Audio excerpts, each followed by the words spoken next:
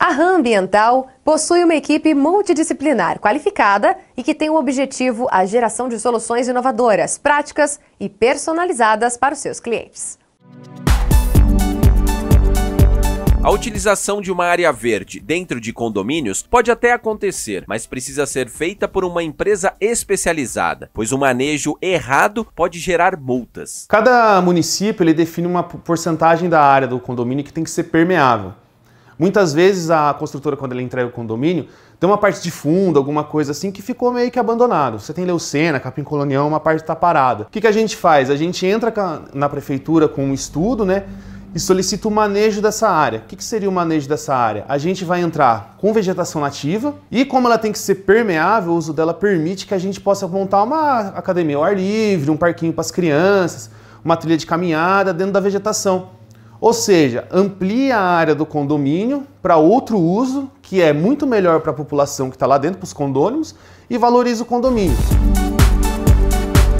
O Rafael é biólogo. Por 10 anos, atuou com consultoria e licenciamento mineral e ambiental em uma grande empresa de Rio Claro. Há 3 anos, usou a experiência para começar a própria empresa. Fazem 10 anos que eu estou trabalhando no ramo né, da parte ambiental. Trabalhei um período para um para um outro escritório de, de consultoria e depois recebi, resolvi abrir o horizonte e abrir meu próprio escritório. Em apenas três anos, a empresa realizou trabalhos em 70 cidades e já atendeu mais de 100 clientes, com serviços como licenciamento ambiental e mineral, drones e topografia, aluguel e venda de equipamentos, entre outros. A experiência e excelência na execução dos trabalhos fazem a RAM Ambiental ser procurada por outras consultorias. A gente tem muita experiência de campo e aí o que que, que acontece? Algumas consultorias acabam pegando o serviço, eles não têm um leque tão grande, e como a gente já tem toda essa experiência, a gente abre parcerias com esses clientes e a gente executa partes do serviço. No final de 2020, no auge da pandemia,